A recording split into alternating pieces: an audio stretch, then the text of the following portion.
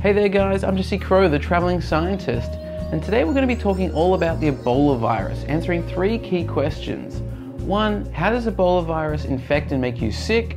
Two, what's going on with the current 2019 Ebola outbreak? And three, how are we going to solve this problem?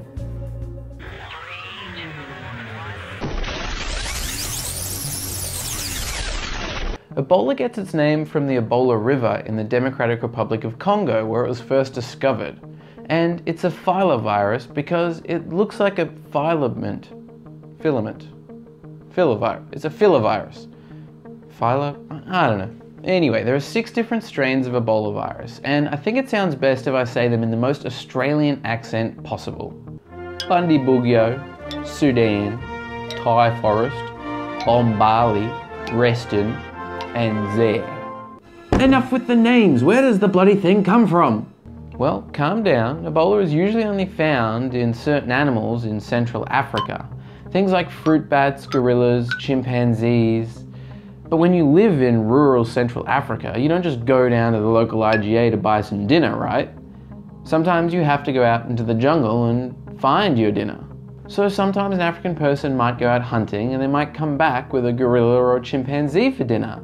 Unfortunately, if that gorilla or chimpanzee was infected with Ebola virus, well, now the whole family is going to be infected with Ebola. Thanks for dinner, Dad. Well, that's one theory of how the virus could have transferred from animals to humans. We don't know for sure. But what we do know is that when somebody dies from Ebola virus, it's tradition to have a funeral where all of the friends and family come and kiss and hug the body before they bury it. And everybody who does come into contact with the dead body usually comes down with Ebola, and a lot of people die from it. It's a really sad tradition. I mean, everyone just wants to pay respect to their lost loved ones, but at what cost? Ebola does its damage by infecting two main cell types in the body.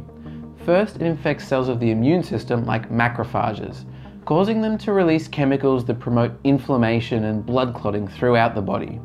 The virus also infects endothelial cells. These are cells lining the blood vessels, damaging their vascular integrity, which leads to hemorrhaging. And as the virus replicates in these cell types and spreads throughout the bloodstream, your blood circulation is compromised, which damages many organs and tissues. For example, your gut lining is damaged and you get diarrhea, your liver is damaged and you can't detoxify your blood. And as your blood vessels continue to degrade, your blood pressure plummets and patients usually die from systemic shock and multiple organ failure. It's really brutal. So now you know how Ebola works, let's get you updated on the current outbreak status as of June 8th, 2019. And to get the information on this, we're going to go to an exclusive report live from the United Kingdom with our very own James Armadale. James, what's going on? Hello, Jesse. This is James Armadale reporting live from London.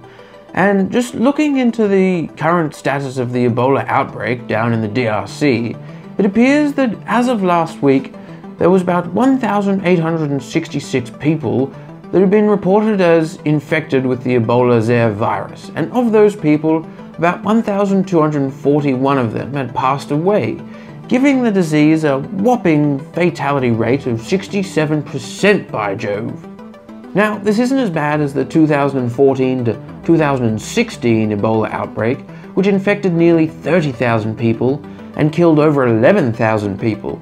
Now, that was a fatality rate of about 40%, which is a little bit better than what they've got now. And although the outbreak that's happening now hasn't touched nearly as many people, health officials on the ground are still trying to get more international attention for this seriously deadly disease. Now, it's been pretty hard going down in the danger zone, but to get a feel of what it's like to be there in the Democratic Republic of Congo, we have a live reporter, our American Billy Bob, down there on the ground as we speak. Billy, old boy, what the devil's going on down in the DRC? Howdy there, fellas. This is Billy Bob reporting from the back streets of Kinshasa in Democratic Republic of Congo. Now it is a flaming mess down here. Turns out a lot of people don't even know much about Ebola. Matter of fact, a recent poll found out that 36% of the local population doesn't even believe that this disease exists. Now, on top of that, there's been some serious violent militia attacks on the healthcare workers that are trying to deal with Ebola, making uh, treatment more difficult and promoting the spread of the disease around the local area. It's really bad. Seems there's a bit of a mistrust around the healthcare system and a lack of education around Ebola, which is making it really difficult to get on top of this outbreak. Boy, howdy. Anyway, back to you, James. And we'll be keeping a close eye on the outbreak from here in London. Back to you, Jesse. And thanks so much to James Armadale, live there in London, and also Billy Bob, live on the ground in the Democratic Republic of Congo. That is first hand information right there. Top stuff. Now let's look at the current vaccine development status. Now, I've got good news and bad news. The good news is that health officials in the Democratic Republic of Congo are currently armed with an experimental vaccine called V920, which is shown to be extremely effective. The bad news is that there's only a limited number of these vaccines, and when someone gets the vaccine, it takes a little while for it to become effective. Recent reports have stated that the experimental vaccine, which they started using late last year, has shown to be 97.5% effective. This is incredible. It's produced by a company called Merck & Co. and it contains a completely harmless live attenuated virus which has been engineered to express a glycoprotein of Ebola. This lets the immune system become aware of how to fight against the current strain of Ebola, the Zaire strain, before it encounters it in real life. And the latest figures indicate that over 100,000 people in the region have currently got this vaccine, including over 28,000 healthcare workers. And the vaccine has definitely saved thousands of lives. So in conclusion, Ebola is a serious virus that causes a deadly disease which has no cure. And there is currently a serious outbreak of Ebola Zaire in the Democratic Republic of Congo. And vicious attacks on healthcare workers is making it really difficult to quell this outbreak.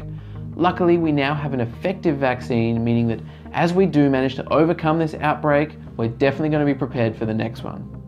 Anyway, that's all for today guys. Thank you so much for watching. If you enjoyed this video or learned anything, click the like button down below. And let me know if you have any questions or comments about Ebola virus in the comments section down below. Finally, make sure you subscribe for more traveling science every single week, and I'll see you guys next Science Sunday. Cheers.